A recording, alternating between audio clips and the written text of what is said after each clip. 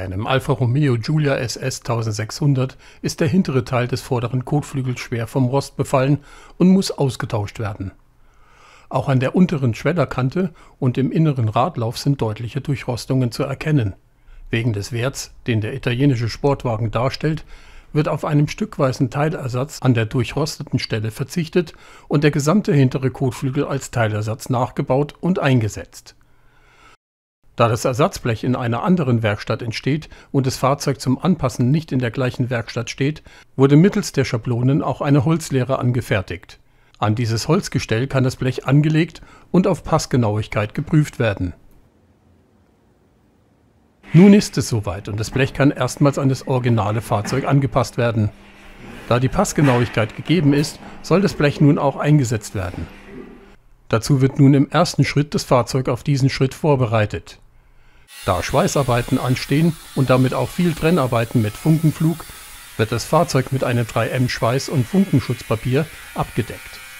Dieses Papier lässt keinen Funkenflug durch und sogar Schweißperlen perlen an dem Papier ab, ohne dass das Papier selbst Schaden nimmt. Das schützt die Karosserie, die Scheiben und sogar den Innenraum des Fahrzeugs, da die Türen ausgebaut werden mussten. Bei Schweißarbeiten am Fahrzeug sollte man dieses selbstklebende Schutzpapier immer parat haben. Im ersten Schritt wird nun das Ersatzblech passend an den Kotflügel angehalten und die Umrisslinie markiert. Natürlich müssen auf dem ursprünglichen Kotflügel etwas Überstand nachgezeichnet werden, damit das neue Ersatzblech nicht durchfällt. An den Kanten, an denen Stoß geschweißt werden soll, markiert ein Klebeband, wo das Blech haarfein herausgetrennt wird. Mit der dünnen Trennscheibe wird das alte Blech aus dem Fahrzeug ausgetrennt. Wichtig dabei ist, dass das Heraustrennen sehr gewissenhaft, ruhig und mit höchster Konzentration erfolgt. Erstens ist große Hitze zu vermeiden und des Weiteren passt das Ersatzblech wesentlich besser, wenn man sehr bedacht vorgeht. Das alte Blech wird nun rundum aus der Karosserie getrennt und, es, und die Passgenauigkeit vorgenommen und die Passgenauigkeit vorbereitet.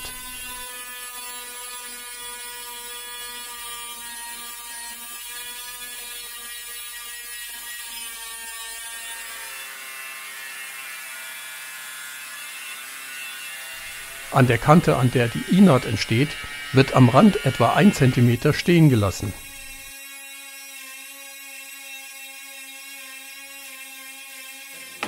Dieser Rand kann anschließend mit der Absetzzange bearbeitet werden. Dadurch entsteht ein etwa 1 mm tiefer Absatz, in den das Blech eingesetzt wird.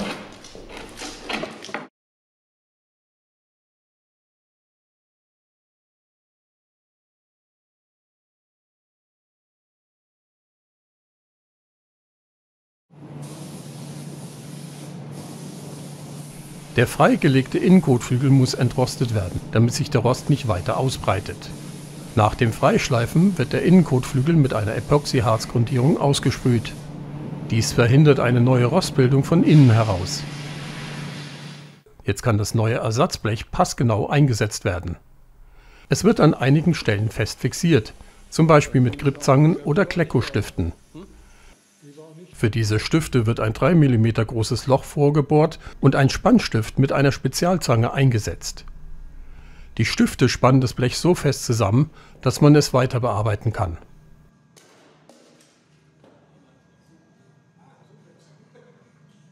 Das Blech muss vor dem Verschweißen noch einmal final getrimmt werden.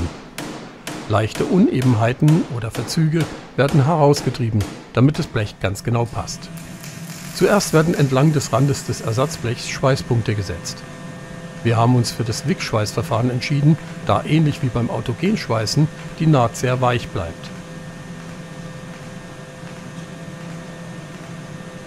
Wicknähte lassen sich mit einem Hammer glätten und sind auch sehr stabil. Bei der richtigen Anwendung ist der Verzug sehr viel geringer als beim Mackschweißen.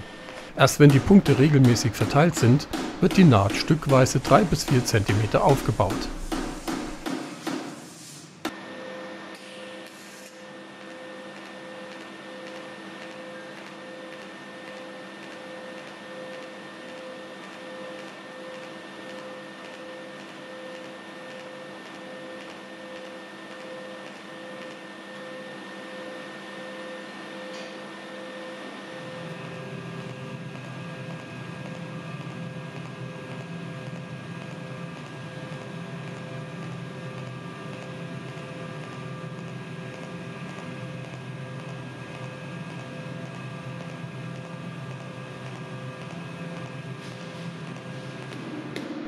Danach lässt man die Naht erst einmal abkühlen.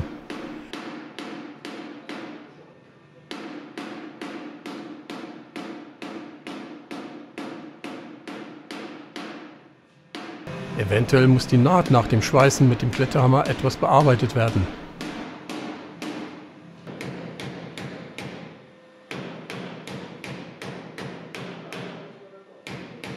Wegschweißen nimmt sehr viel Zeit in Anspruch, ist aber besser zum Nachbearbeiten.